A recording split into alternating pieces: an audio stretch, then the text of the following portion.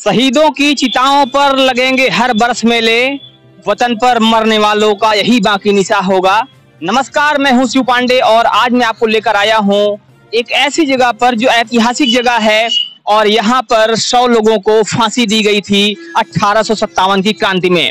जी हाँ आज हम बात करने वाले हैं अठारह की क्रांति में सौ लोगों को फांसी दी जाने वाली जगह, जिसे फांसी इमली के नाम से जाना जाता है। प्रयागराज का यह प्रसिद्ध स्थल अंग्रेज़ों के जुल्मो सितम का एक ऐसा स्थान है जिसके बारे में शायद ही कोई ऐसा व्यक्ति होगा जिसने ना सुना हो और इसको सुनकर किसी की भी रूह काँप उठती है।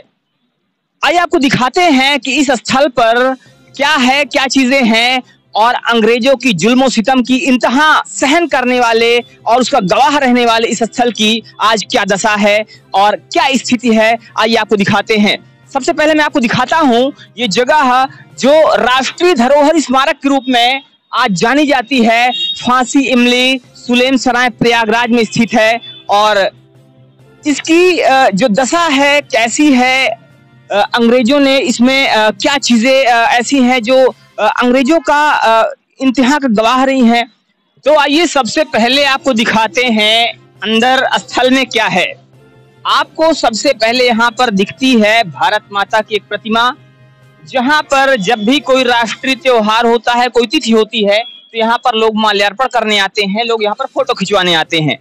जो राष्ट्रीय नेता हैं, जो यहाँ के लोकल नेता हैं, सभी यहाँ पर आते हैं और यहाँ पर माल्यार्पण करते हुए फ़ोटो खिंचवाते हैं। लेकिन उसके बाद कोई सोचता ही नहीं है कि इस राष्ट्रीय धरोहर को कुछ आगे भी किया जाना चाहिए।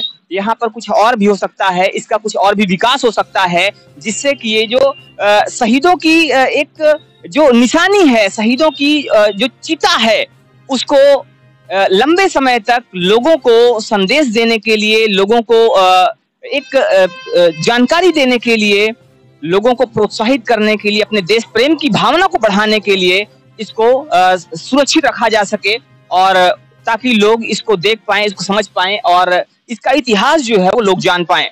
इसके बगल में आप देखेंगे तो यहाँ पर सरदार भगत सिंह की एक प्रतिमा लगाई गई है और जैसा लोग बताते हैं क्योंकि काफ़ी पुरानी बात है, लोग बताते हैं कि यहीं पर एक इमली का पेड़ हुआ करता था और वही इमली का पेड़ था जहाँ पर अठारह सौ सत्तावन की क्रांति में सौ लोगों को फांसी के फंदे पर चढ़ा दिया गया था, सौ लोगों को मार दिया गया था फांसी दे करके यहाँ पर आप देखेंगे, खैर फांसी का वो जो इमली का पेड़ है, अब तो वो नहीं है, लेकिन इसके बगल में एक इमली का पेड़ और लगा दिया गया है।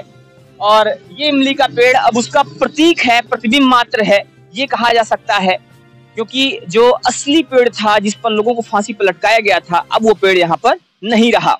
यहाँ पर आप देखिएगा एक यहाँ जो दीवार है, दीवार पर लिखा हुआ है धरोहर। मतलब ये ऐतिहासिक धरोहर के रूप में है। इतिहास के पन्नों में दर्ज है, लेकिन सिर्फ़ ये बातें इतिहास के पन्नों तक ही सीमित रह गई हैं, जिस पर अब किसी का कोई ध्यान नहीं है। सिर्फ़ यहाँ पर लोग अपनी सेल्फी लेने के लिए, लोग फ़ोटो खिंचवाने के लिए आते हैं और उसके बाद चले जाते हैं, भूल जाते हैं।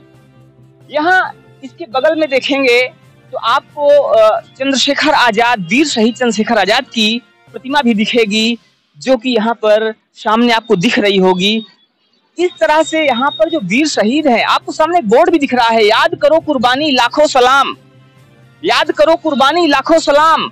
सलाम तो किया जा रहा है, कुर्बानी को याद किया जा रहा है, लेकिन कुर्बानी कैसे याद रहेगी सालों साल तक?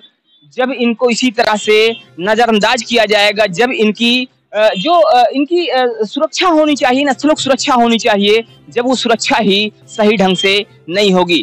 तो इस तरह से ये जो हमारे ऐतिहासिक स्थल हैं, जो कि इस तरह से एक, जो राजनीतिक उपेक्षा का शिकार हो रहे हैं, इन पर ध्यान दिया जाना बहुत ज़रूरी है, ताकि हमारी आने वाली जो पीढ़ी है, उस पीढ़ी को कुछ संदेश मिल सके, कुछ जानकारी मिल सके, और उनमें भी देशभक्ति की भावना पैदा हो सके।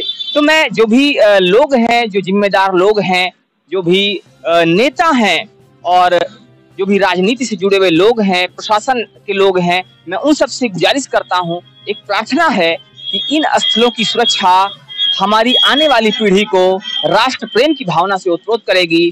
कृपया इस पर ध्यान दें। मिलता हूँ फिर से कुछ ऐसी जानकारी साथ। तब तक के लिए जय हिंद, जय भारत।